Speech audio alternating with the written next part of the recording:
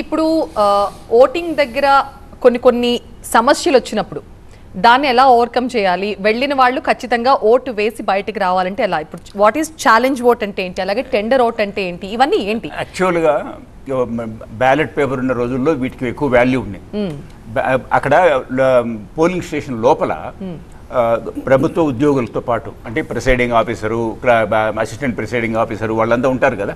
వా చెక్ చేసేవాళ్ళు మగ ముద్ర అది వాళ్ళు గుర్తుపెట్టేవాళ్ళు ఆ బటన్ నొక్కి ఇప్పుడు బటన్ నొక్కుతున్నారు. వీళ్ళు కాకుండా ఏజెంట్స్ ఉంటారు.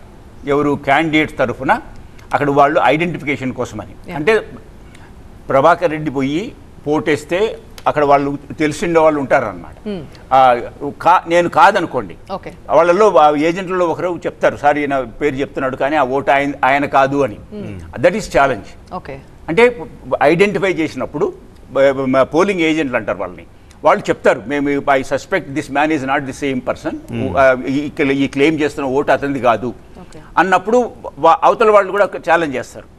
ఎందుకంటే ఇతను రెండు రెండు గ్రూపుల వాళ్ళు ఉంటారు. రెండో మూడో నాలుగు క్యాండిడేట్లు అందరికీ ఉంటారు ఏజెంట్లు వాళ్ళు ఛాలెంజ్ చేసినప్పుడు అప్పుడు ఈ ప్రిసైడింగ్ ఆఫీసర్ దాన్ని వెరిఫై చేస్తారు. కానీ ఇవన్నీ చాలా వరకు ఇప్పుడు లేవు ఇప్పుడు లేవు.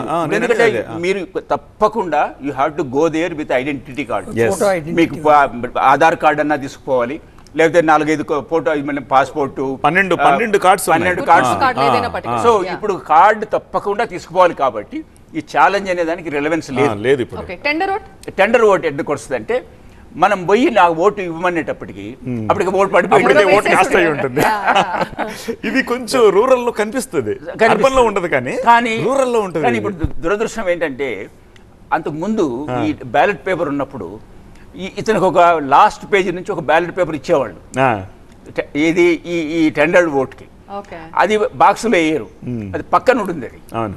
అంటే బాక్సులన్నీ ఈ టెండర్ ఓట్లన్నీ ఒక పక్కన ఉండిపోతాయి. అన్ని పోలింగ్ స్టేషన్లు కూడా కూడా. అవి ఓట్లు అన్ని లెక్కించిన తర్వాత నేరో మార్జిన్ వచ్చి అప్పుడు అప్పుడు ఈ టెండర్ ఓపెన్ చేసే అవకాశం ఉంది. అంతే. అదర్వైజ్ నాకు తెలిసి టెండర్ ఓట్లు ఎప్పుడు ఉపయోగం లేదు. వాటి థింక్ ఇది కూడా తక్కువ అయినట్టుంది. ఇది వరకు పూర్వం ఏం జరిగేదంటే ఈ టెండర్ ఓట్ అనేది చివర్లో ఇంకా లాస్ట్ గంటలో ఎవరైనా రాలేదు అన్న ఓటు ఉంటే ఆ ఓటుని వేరే వాళ్ళు ఎవరో కాస్ట్ కానీ చేసేసి ఇప్పుడు. ఐడెంటిటీ కార్డు లేకుండా ఈ పన్నెండు మీరు చెప్పిన ఐడెంటిటీ కార్డు లేకుండా లోపలికి పోయి ఓటేసే అవకాశమే లేదు. వేలముద్రైన వేయాలి సంతకం చేయాలి రాయాలి. వెబ్ కాస్టింగ్ ఉంది కాబట్టి సర్వేలెన్స్ ఈ- ఛాలెంజ్ ఓటుకి టెండర్ ఓటుకి రిలవెన్స్ ఇప్పుడు లేదు. తగ్గింది.